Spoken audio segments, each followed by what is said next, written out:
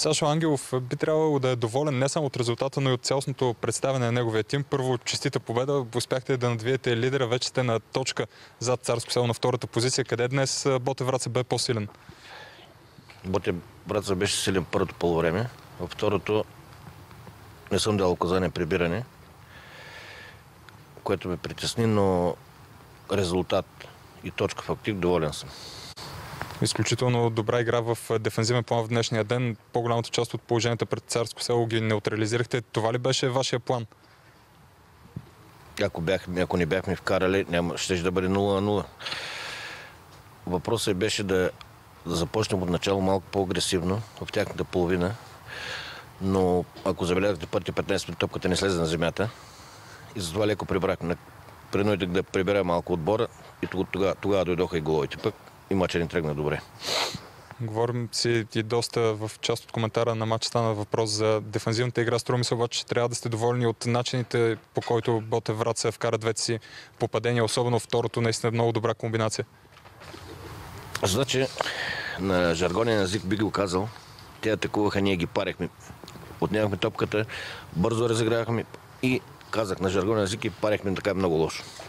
Може и, и още голове да вкараме даже. Успя ли с нещо от царско село да ви знаят, съдейки по резултата не, но все пак? И момчета искаха, бореха се, агресивно подхождаха. Но мисля, че не е моя работа да, да кажа примерно къде сгрешиха, къде не. Гледах, гледах нашия отбор.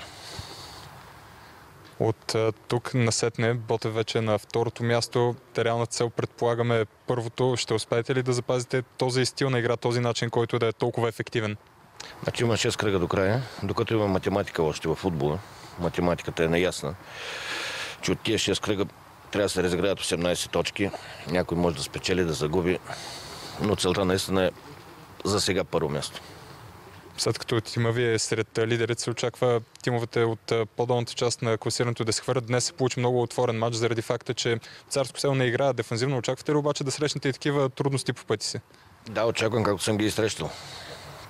Очаквам даже от следващия мач да бъде такъв групиран отбор, който да направим всичко възможно да победим. И сам споменахте 6 кръга. Какво искате да запазите от днешното представяне? Имаше ли нещо, което пък да не ви хареса и което да искате да промените от тук на сетне? Скоростта в атаката. Ви хареса? Искам да подобря. Още. И самочувствието пред гола, естествено.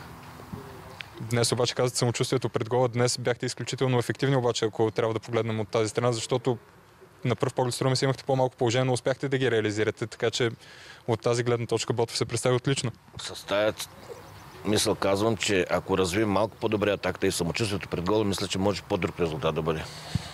Благодаря ви. Успех на Ботев Враца. Това бе старши треньорът на Ботев Враца. Обратно към коментарното ни студио и Диан Станчев.